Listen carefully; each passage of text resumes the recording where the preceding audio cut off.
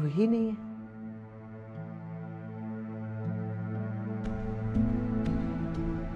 Patient का है? Doctor साहब, बच्चे भी नहीं है।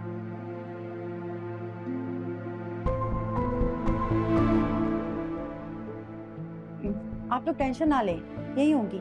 मैं चेक कर लेती हूँ। मैं देखता हूँ।